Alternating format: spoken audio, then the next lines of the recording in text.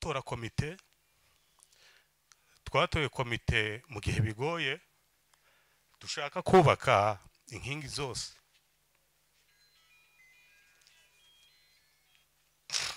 Cyangwa se dushaka gukomeza inguni zose. Bisaba ko dutora abantu bari strong ahantu hose. Kugira tubashe kubaka departema zaba zigize minisiteri ntihagire uruhande ruzahengama bitewe n'imbaraga tutabishizemo. Dutora komite isa nkaho ari iy'abantu benshi. Ariko twaba dufite papasi muri komite yari igizwe n'abantu cumi na batatu. Hajemo umukobwa umwe. Ari we sherisi bigaragaza imbaraga yari afite twamubonagamo.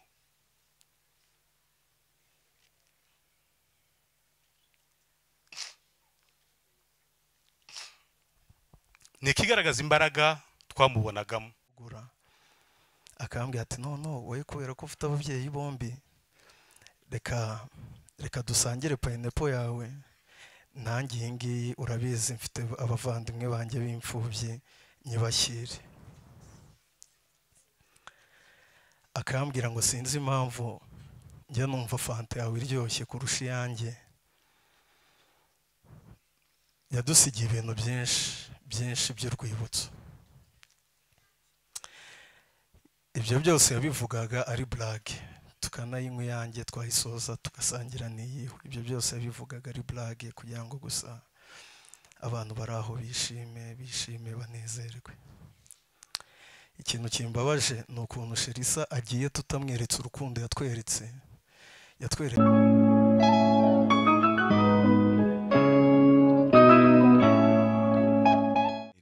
kandi yabikora ukabona bitanze umusaruro. Rero icyo ni ikintu twibukiraho sherisa.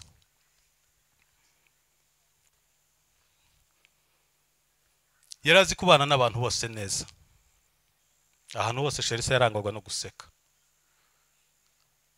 Abatamuzi bamufata ko ari uburyo bwo kuderanja ariko ahantu sherisa yabaga ari wasangaga abantu bose bishimye. Ntiyashoboraga kuvuga ko cyangwa se kubemerera ko bigaragara yuko mutuje musa nk'abantu mwabuze icyo mukora cyangwa se mwabuze icyo muganira. Yagombaga gushakisha topic muri buvugeho kandi mwese mugaseka. Ibyo bintu tuzabyibukira kuri sherisa. Yagize uruhare mu bikorwa minisitiri imaze kugeraho. Hari byinshi tumaze kugeraho nubwo hari n'ibindi byinshi yari asize biri muri plan bitarakorwa. Ariko tuzamwibukira ku byakozwe. Uruhare yabigizemo mu gufasha abatishoboye mu gusanira amazu aba yaragiye kugwaho. Uruhare yabigizemo mu gutangira abatishoboye za mitiweli mu kugaburira abashonje. Ibyo ni byo twagiye dukora kandi sherisa yagiye ageramo uruhare rukomeye. Ibyo bintu byose tuzabimwubikiraho sherisa mu buzima bwe bwa gikristo twamenyanye yakijijwe mu busanzwe twese tuvu- tuvukira mu miryango ikijijwe ugasanga tugenda nimba ba data cyangwa se ababyeyi dusanze ari abapasiteri ari abarokore tukagendera muri uwo munyenga. Tukumva ko natwe twakijijwe. Ariko iyo umuntu amaze guca ubwenge biba ngombwa ko ugomba kumenya gushakisha neza ko inzira mwakurikiye ariyo nka bimwe aburahamu yamenye ubwenge asanga setera acuruza ibigirwamana ariko ashaka kumenya imana y'ukuri. Sherisa nawe yavutse mu muryango wa gikristo. Ariko yageze igihe ashaka kumenya ko inzira ababyeyi bamuyoboye ko ariyo y'ukuri. Aho yafataga umwanya wenyine w'amasengesho atari igihe twategetse byo kuvuga ngo turinjira amasengesho. We wenyine agakora amasengesho ibyo ni ubuhamya n'abapasiteri bagiye babivugaho. Atari ibyo kuvuga ngo ni byo umuryango washizeho ngo bafate igihe cyo kwiyiriza cyo kutarya ugasanga sherisa yafashe iminsi makumyabiri n'umwe atarya. Mu by'ukuri rimwe na rimwe bikaba byamugiraho ingaruka mu buryo bw'umubiri. Eh, ibyo birego twa cyangwa se icyo kintu twacyakiraga kivuye ku babyeyi yuko tugomba kumusaba akarya. Ariko wari umutima wo gushaka kw'imana ata- atari yo yigishijwe n'ababyeyi atari yo gusa yumvishe ngo bakubise ingoma bagiye mu rusengero. Sherisa cyo ni ikintu tumwibukiraho c'amasengesho. Yari umunyamasengesho rimwe na rimwe ari igihe dupanga amasengesho ukaba wasiba ariko sherisa ntabwo yashoboraga gusiba atabivuze. Kandi tunashimira umubyeyi wabigizemo uruhare iyo sherisa yabisibaga yagombaga kudusaba agahusha ndetse agasaba n'umubyeyi w'agahusha kumva yuko ari buryame mu rugo cyangwa se arara mu rugo umubyeyi wazi ko twaraye mu masengesho yagombaga kubanza gutanga ibisobanuro ku mubyeyi. Rero umubyeyi turabimushimira mu ruhare yagize rwo gufata sherisa ukuboko kugira abashe kuyoboka ino nzira. Imana imuha umugisha. Sherisa ni byinshi twamuvugaho. Guhina amagambo si uko twaba twabuze icyo tuvuga. Ni byinshi na buri wese hano tumuha mikorofone ashobora kuvuga kuri sherisa. Ariko twagerageza kubishyira muri dokimantere muzabikurikirana. Ah, ni bwo buryo twabonye bwiza kugira tubashe kuvuga sherisa. Ko buri muntu wese tumuha hano mikorofone yagira icyo avuga kuri sherisa. Ariko sherisa turamuzirikana ku byo yakoze. Reka soze nshima. Reka dushimire abantu bose baje kudufata mu mugongo. Ndabivuga ntyo ko sherisa umuryango akenshi urabyara ukarera ariko rimwe na rimwe ugasanga umuntu yishakiye indi miryango avukamo. Sherisa afite umuryango yavutsemo uramurera arakura ariko agenda ashaka inshuti arema indi miryango. Rero uyu ni umuryango wundi yari afite wa hiringi Ah, mu by'ukuri turababaye kimwe n'uko n'umuryango wavukamo bababaye kuko natwe tubuze urugingo rukomeye. Sherisa yavutse muri uwo muryango ariko nitwe twa kirenze icyo umuryango wabo wari umufite. Nitwe twamugiraga. Rero ndashimira abaje kudufata mu mugongo bose amatsinda agiye atandukanye.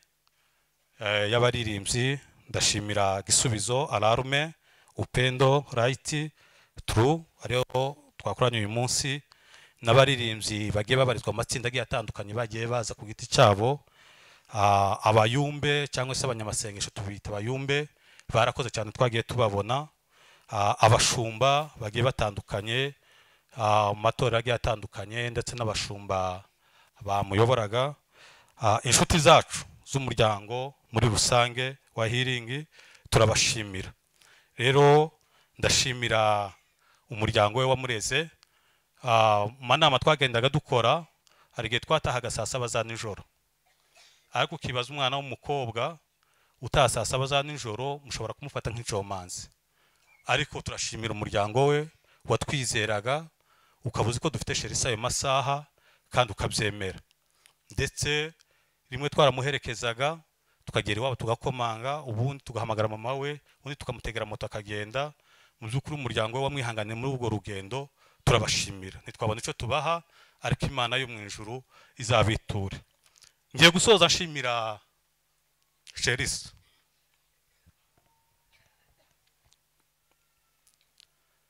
hari ikintu imana yaduhishe.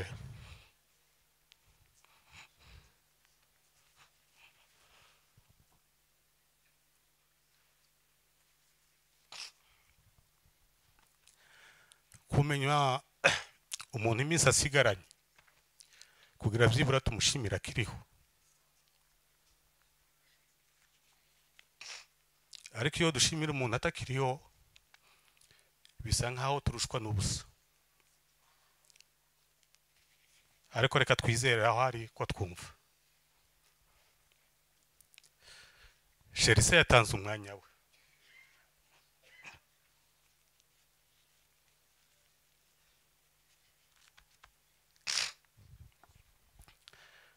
Dutora komite twatoye komite mu gihe bigoye dushaka kubaka inkingi zose.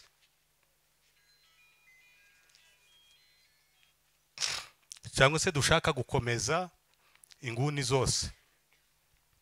Bisaba ko dutora abantu bari sitoronga ahantu hose.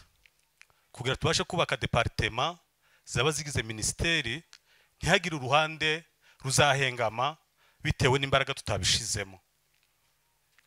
Dutora komite isa nkaho ari iy'abantu benshi. Ariko twaba dufite papasi muri komite yari igizwe n'abantu cumi na batatu. Hajemo umukobwa umwe. Ari we sherisa. Bigaragaza imbaraga yari afite twamubonagamo.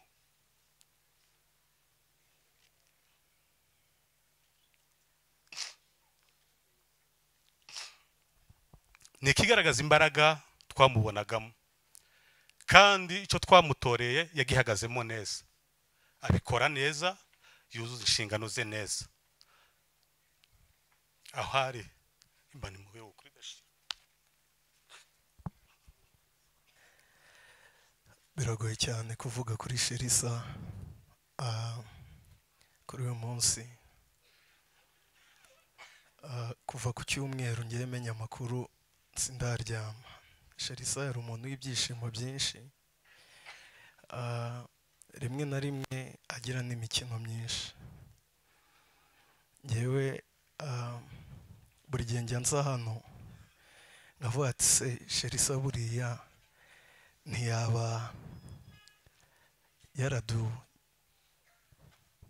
yaratuskaminze akatubeshya. Agahita atubwira ati sinigeze mpfa.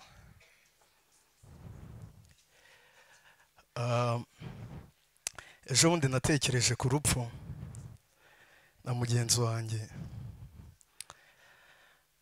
Nsanga urupfu nyine rubaho.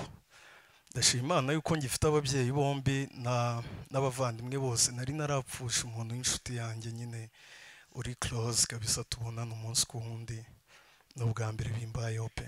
Ngewe najyaga mu biriyo by'abantu bakarira nkabahuza nyine nkabona urupfu rubaho ariko nyine si sindwakire neza kubera ko nari narapfusha umuntu nkunze cyane. Ejo bundi natekereje ku rupfu ndabase mana iyo urupfu urufata ukazajya utwara umuntu ukaba wenda umudutwaye imyaka itanu. Nyuma y'imyaka itanu akazagaruka. Yaza agasanga turi mu iterambere riteye ubwoba. Yaza agasanga tugeze hehe? Basi byibuze kubera ko ari inshuti amarira araza pe. Sherisa ah, ndabanza muvuge ku giti cyanjye. Sherisa yari inshuti yanjye magara kabisa. Ku buryo muri korari abantu babibonaga pe. Abantu babibonaga bakaba batari kose nkamwe biti twari abayobozi ndi kontabule wa korari ari sekereteri ariko nitwe bantu basakuzaga cyane mu marepetisiyo umuyobozi wacu w'amajwi. Buri gihe twagiye mu nama ya komite akaba atari ko wowe na sherisa. Ni uruhe rugero muhereza bari abana batoya? Mwagiye muha siriyazi ariko kubera ko byabaga rimwe na rimwe tugatangira puragitisi mpagaze hariya ahagaze hariya ntago namenyaga ukuntu twabaye konekitedi nkashituka namwegereye cyangwa yanyegereye gutyo. Sherisa yadukoreye ibintu byinshi adusigiye memorizi nyinshi nyinshi cyane tutazibagirwa. Yari umuntu w'urukundo rwinshi. Yajyaga akunda gutera burage nyinshi agasetsa. Twavaga muri puragitisi akambwira ati bose wanjye wanguriye se? Agasitoro yakundaga fanta ya sitoro cyane. Ngewe nkunda payinapo noneho twagiye muri alimantasiyo kugura. Akambwira ati noneho wowe kubera ko ufite ababyeyi bombi reka reka dusangire payinepo yawe.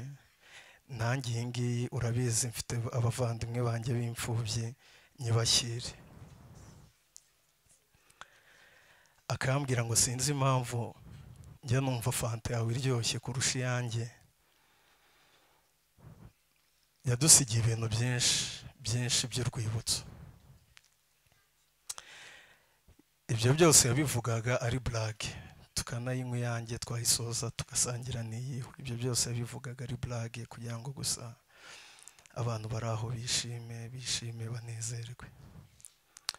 Ikintu kimbabaje ni ukuntu sherisa agiye tutamweretse urukundo yatweretse yatweretse urukundo. Uvuye hariya ukageza hariya buri muntu bafite uburyo bari babanyemo. Ejo bundi twaricaye buri wese akavuga ati ni ngewe wari inshuti cyane na sherisa. Undi nawe akavuga ati ni mwebwe nimuzi. Amabanga yanjye na sherisa. Twari inshuti biteye ubwoba. Ah, hari ibintu bimwe ndimo ndareba nkumva sinakongera kubisubiramo. Ah, hari ukuntu abavandimwe bacu twaririmbanye ba- baba nko hanze tuba dufite nk'igikorwa bakatwohereza amafaranga yari asigaye akora muri beka nkamuhamagara kubera kwanga umurongo nkamubwira ati sheri ndaje. Mfite amafaranga bohereje kuri western wenda yo kugura ibyuma mbabara umfashe ah, umbwirire abakozi mukorana ndebe ko naza nagiye ku murongo nkore gahunda zanjye mpite nsubira mu zindi nari ndimo. Sheri si ibyo bintu yabikoraga vuba. Nazaga yujuje amafomu yose byarangiye nkaza mpita nanga ayidi yanjye bagahita bampereza ngasohoka ku buryo nta minota ingahe nahamaraga. Agahita ambwira ati tujye kurya rero. Singukoreye akazi kari kugufata amasaha menshi. Ibyo bihe byose nzabyibuka kandi tuzabimukumburira cyane. Ndakomeza cyane famiye yiwe ndakomeza umubyeyi wiwe. Mama sherisa yahagararanye natwe mu bihe bi- byari bitugoye. Byari bitugoye. Hari ibihe twigeze gucamo biratugora. Ah, mama sherisa aduhagararaho. Aduhagararaho ndibuka dutangira minisiteri. Amapractice nkangahe ya mbere yose twakoreye iwabo? Kubera sherisa na mama we n'abavandimwe be bagataha barushye. Iyo turepeta twebwe tuba turi hejuru cyane. Ba shanita bagataha barushye na bavuye mu kazi tukarepeta ntibigire ikintu bibatwara. Turabashimiye cyane umuryango mwiza. Mwatweretse urukundo mwatweretse urukundo akarusho noneho mutubyarira sherisa aza kutubera ibyishimo muri healing worship ministry.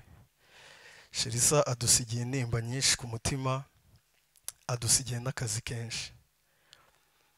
Ntituzi ko tuzabona undi muntu uzasimbura sherisa ntawe turi kubona muri twebwe. Ntawe pe nta n'uzava hanze wasimbura sherisa. Ariko muhumure muhumure sherisa ari mu ijuru. Sherisa ari mu ijuru turabihamya rwose.